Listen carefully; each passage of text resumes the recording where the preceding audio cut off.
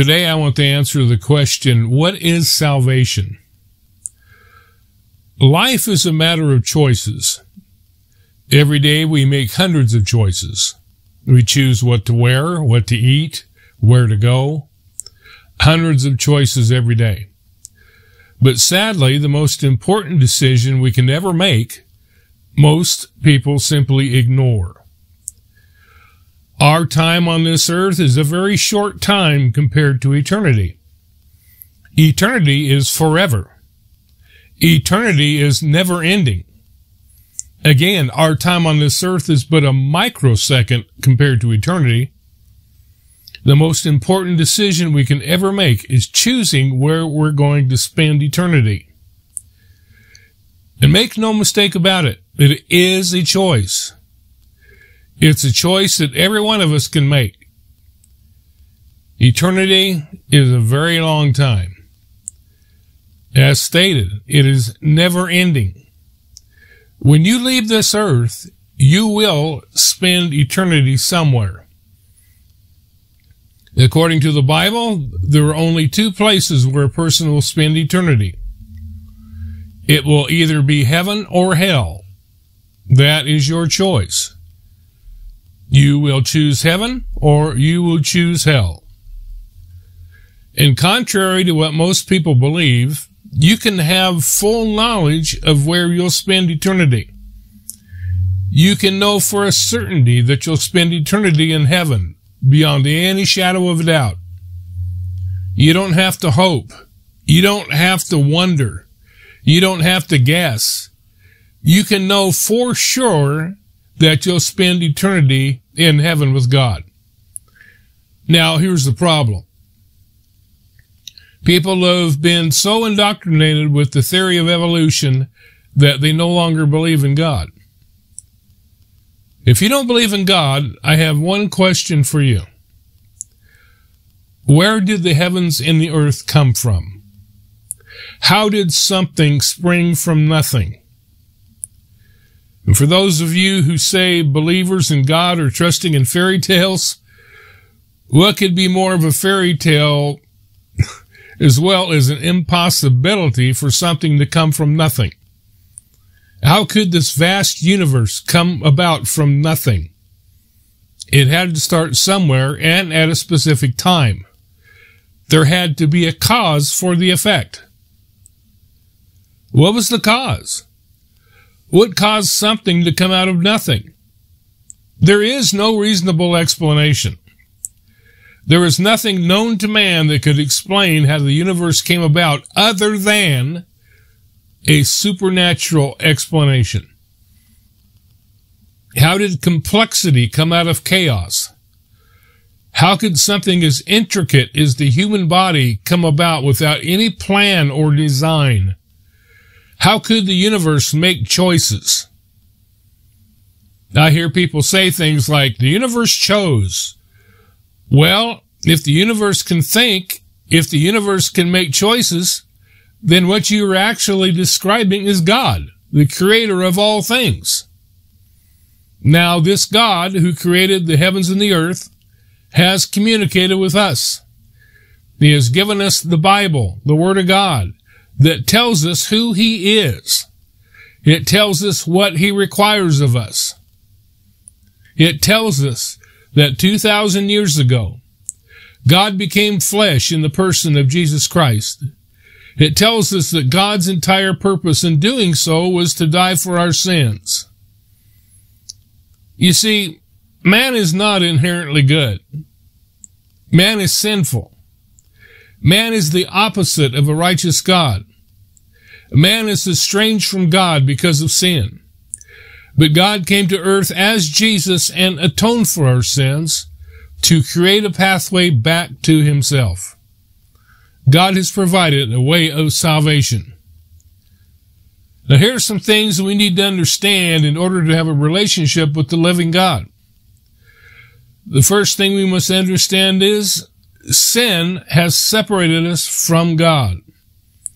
Isaiah 59 verse 2 says, But your iniquities have separated between you and your God, and your sins have hid his face from you that he will not hear. Romans 3 verse 10 says, There is none righteous, no, not one. Romans 3.23 tells us, For all have sinned and come short of the glory of God. The thing you must understand is that God requires perfection in order to stand in His presence. God hates sin and cannot allow sin in His presence. In order to be in the presence of God, we must be perfect. However, man cannot be perfect. Man is sinful. Man is depraved. And being in that state, we are separated from God. The only way that we would be able to stand in the presence of God is for someone to be perfect for us. Someone whose attributes could be imputed to us in order for God to view us as perfect. And that was the whole purpose of God sending Jesus to the earth, to die on the cross, to shed his blood, and be punished in our place. That is why nothing you or I could do could ever merit salvation. Isaiah 64 verse 6 states, But we are all as an unclean thing, and all our righteousnesses are as filthy rags. The best that we as sinful human beings can do, God views as filthy rags. There is nothing that you and I can do in order to impress God. Salvation is not a matter of works, good deeds, living a good life, or anything else that we as sinful humans believe deserves some type of merit or approval. In John 14 verse 6, Jesus says, I am the way, the truth, and the life. Nobody comes to the Father except through me. We live in an age today where everything is relative. Everyone believes in their own truth. Our truth is what we believe in our minds. Relativism is the new norm. But the simple fact is, truth is still truth, whether we want to believe it or not.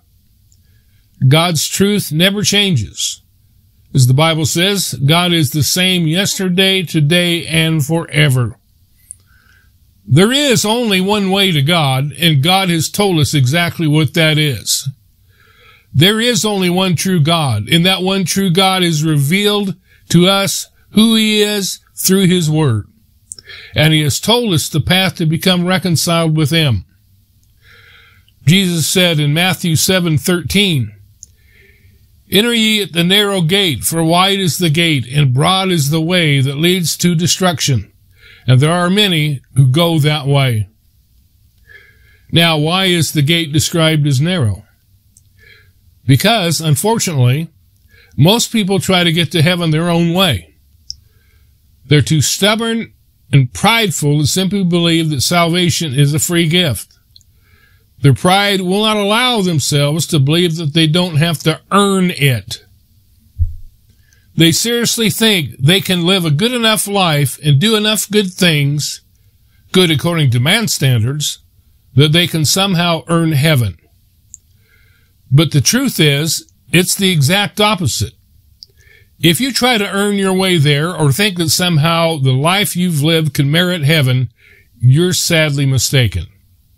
It is not something that can be earned. The whole purpose of Jesus coming to earth and dying for our sins is because we cannot earn it. It's because we can do nothing to merit it. Romans 6:23 says for the wages of sin is death but the gift of God is eternal life through Jesus Christ our Lord. The death spoken of here is eternal death, eternal separation from God. That's all our supposed good life or good works can earn us. Eternal death. That means spending eternity in hell separated from God. Again, think of that word. Eternity. Eternity. Eternity is forever, people. Eternity never ends. Imagine spending eternity in never ending torment. Imagine the hopelessness that you'd experience knowing that will never end. Imagine dying and waking up in hell with your first thought being, this is forever. There will be those who ignore God's message, still believing that we evolved from a rock or who knows what. There will be those who still believe they can somehow earn heaven. But unfortunately, they will be the ones who wake up in hell and their first thoughts will be, this is forever, never ending, all eternity. Are you willing to take that chance? What if you ignore this message, you die, and wake up in hell? You'll be wishing you'd listened to me and listened to God's message directly from His Word. You'll be wishing you hadn't been so stubborn, wanting to do your own thing and do things your own way. However, at that point, it will be too late. Romans 5 verses 15 to 16 calls salvation the free gift Ephesians 2 8 calls salvation the gift of God, while the next verse says it is not of works, so nobody can boast. It is a gift. God has freely provided the way back to Him. God has freely given us heaven, but He will not force it on anybody. God leaves it up to us. God says it's your choice. You have a choice to make. Right now, as you listen to this, God is speaking to your heart. And you have the choice of accepting the gift or rejecting it. Right now, God is giving you the opportunity to respond. It's as simple as saying, Yes, Lord, I accept your free gift. I realize that Jesus was already punished in my place. I am deciding to trust in him and his dying on the cross as my hope for salvation. It's free, people. All you have to do is reach out by faith and accept it. Now, you may think there's nothing to it. You may think God is just a fabrication. But here's the thing, people. The choice you make has eternal consequences, one way or the other. It's your choice where you spend eternity. You may not believe in heaven or hell, but let me ask you one question. What if you're wrong?